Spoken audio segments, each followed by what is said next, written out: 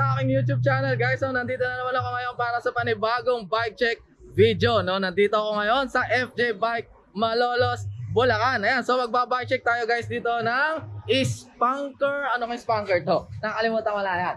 Spanker Arthur. Ayun, naalala ko si King Arthur. Oh. Ang ganda nito guys, promise. Oh. Sa mga naghahanap ng entry level. Ayan oh. So, entry level naman tayo. Noong nakaraang video guys, nag-bike check tayo ng budget MTB na Tosik Traverser yata. O hindi ako nag uh, excuse me, kaya inom lang natin ng taho. Ayan. Uh, bike check tayo ngayon guys ng Spanker Arthur. Wala na tayong intro video guys. Hindi pa tayo nakakagawa sa mga sanay naman dyan guys. So baka naman. Ayan no? So diretso na agad tayo sa bike check video.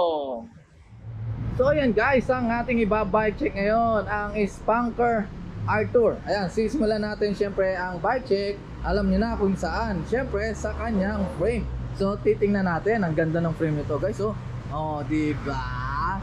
At tingnan natin, ah glossy blue ang ating kulay ng ating frame. So una ko napansin dito guys, ang haba ng relasyon ni top tube sa ni down tube. Ang haba talaga guys, oh. Ayan. So guys, sinukat ko yung ano, yung yung relasyon ni top tube sa ni down tube 180 mm. Ganun kahaba guys. Ang haba nito, oh. Ang haba talaga promise. Pero ang cute naman nung kanyang head tube guys. Ang cute niya talaga. 100, ayan guys. 100 mm ang haba ng ah, head tube niya. Tingnan natin, tapered siya guys oh. Ayan oh, tapered na mayroon siyang water decals dito na logo ng Spanker. Ayan, kitang-kita guys, tapered. Ang ganda mukhang martilyo. Yung kanyang head, ano, head tube. Ayan, hello ka muna Ming Ming. Hello Ming Ming. Ayan. At syempre, ang size ng ating frame ay medium. Ayan, so sukatin natin ang kanyang inches. 17 inches guys. Yung ating frame, syempre gawa yan from 6061 aluminum alloy. At kita nyo guys, oh, ang ganda nito. Medyo mataas yung pagkaka ah, medyo mababa yung pagkakababa ng seat stay sa ng top tube nasa 120 mm talaga guys ang ibinaba niya pero magpapatibay dyan ito guys ito yung nagpapatibay nito kasi pag malamang nawala to malamang ito humina bumaluktot kaya, kaya meron ito hindi ko alam kung ano tawag dito guys eh at hindi siya smooth welding guys maraming uod ng pagkaka-welding Ganon din dito, kitang kita. Pati dito.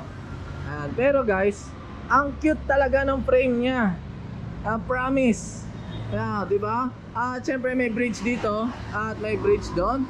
At itong uh, seat stay niya pa rectangle ang shape na merong specific alloy manipulation dito. Uh, alloy AI o LAL. Water decals pa rin to. At dito Arthur A12. Uy! Uhulaan ko, siguro 12 speed to. Nakaka-excite naman guys. Nakaka-excite. At ang dropout niya napapalitan guys. Ang cute ng ano rin dito, design dito. Mukha siyang ano, ah, yung pulsos, ganyan yung design na nakikita ko sa mga pulsos eh. Yung may pivot dito. Ah, may pivot. Ah, di ba? At syempre dito tayo ngayon sa suspension port. Ayun, bakal guys. Bakal. Bakal. Bakal, bakal kalkal. O, di ba? Bakal kalkal kal lahat yan. At ang ating stanchion guys, sukatin natin. Ang ating stanchion, on the spot na natin susukatin. Uminom tayo ng taho, nakalimutan natin sukatin eh. 120 mm guys. Ang ating stanchion, syempre meron yung rubber indicator ng iyong pagkaka-bounce, bounce, bounce. Again guys, 120 mm. Pwedeng pwede ito sa trail guys. Promise. May manual lockout at syempre preload. Ayan. At kasi kaya ako nasabing pwede sa ah, sa trail mataas or mahaba yung ano niya, yung travel tapos yung frame niya, guys. Ganito yung nakikita ko kadalasan na ah, nag ah, mga nagte-trail yung ganitong frame. Matibay daw yung ganitong ah, itsura ng frame eh, oh. At syempre, ang kanyang hubs ay alloy lode alloy lodi na ang tatak ay Shengfu quick release Tapos, crown bearing pa rin pa rin siya guys. Ayan, crown bearing. 2, 4, 6, 8, 10, 12, 14, 16, 32 holes ang ating hubs. So, 32 din ang ating bakal. Ayun, bakal na spokes. Tapos, double wall alloy na rim. Na walang tatak pero meron yung groove. Groove ba tawag doon? Ayan. Hindi yan ano guys, ah, hindi yan sticker. Nakauka talaga yan. At ang gulong natin ay compass. May gulong ka na, may compass ka pa. So hindi ka maliligaw pag gamit mo tong gulong na to. At ang size niyan ay 27.5 by 2.10. Ayan, oh, oh, diba? At yung hubs natin sa kabila, ganun pa rin. Alloy hubs na quick release syempre, na 32 holes na syempre, at baka lang ating spokes, double wall alloy na rim, at gulong na compass na 27.5 by 2.10. Nasa na yun? Ayun, 2.10. Eto na guys, ang ating tags. Uy, napakatahimik guys. Para akong pinag-heli dito. oh. Ang tahimik oh. Ang tatak niyan ay Sunshine Edsay. Oh. Sunshine after the rain. 1, 2, 3, 4. O ba't ba natin? 12 nga eh. Naalagay nga guys. So 12. O 12 speed. 1, 2, 3, 4, 5, 6, 7, 8, 9, 10, 11, 12. Ang kulit ko no guys no. Ang kulit eh no. 11 to 50 ito guys. Ang laki nito. Promise.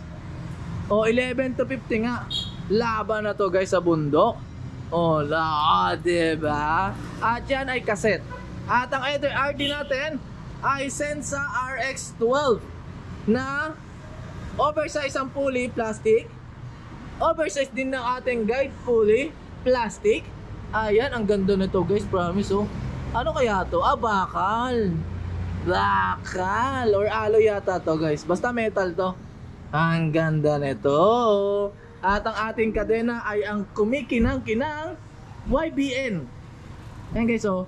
YBN. Napapakanta tayo ah. At ang ating crankset, syempre made of alloy yan, Lodi. O, diba?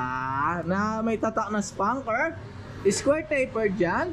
Ah, syempre, sealed bearing ang kanyang BB. Buti pa ang bike may BB. At kita nyo naman ang kanyang chainring, guys. Alloy Lodi. BCD 104, 34 teeth. Ayan, narrow wide to, guys.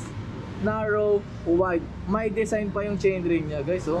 Ang ganda nito, promise. At dito tayo ngayon sa kanyang seat clamp. Syempre, made of alloy yan. Ito, oh.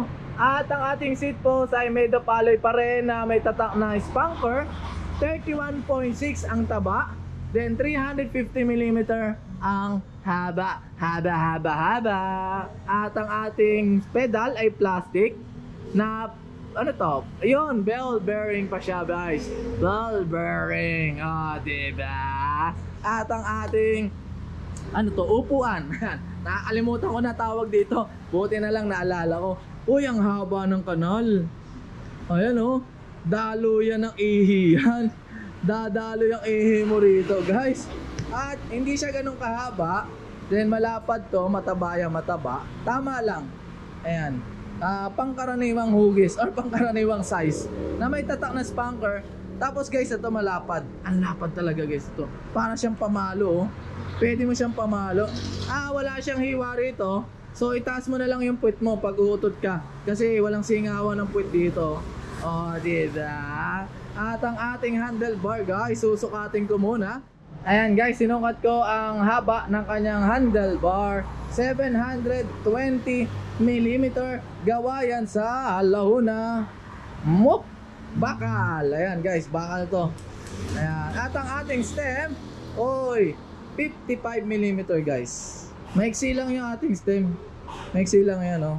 At ang ating headset or head, ano to, ah, ano ba to, top cap ay Gresta. Eto, Gresta. Ah, yun, positive, negative ang ating stem, guys. Pwede mo itong baliktarin. Nakaangat ng ganun, no? So, pwede mo siyang baliktarin. Tapos, pwede ka mag ah, palit-palit ng spacer. Kasi meron tayo dito dalawang 10mm. At dust cap na alloy din to, 10mm din. Ayan.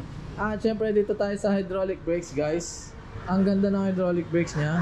Sunod-sunod ang ating bike check na ganito ang hydraulic brakes na Simmers. Again, alloy to.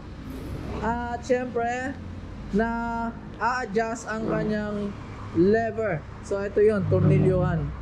Ayan, na-adjust to. Para lumapit dito. Ay layo niya no. O hirap ano niya no. Layo. Pero kung in-adjust mo, o di ba relax na relax yung kamay mo.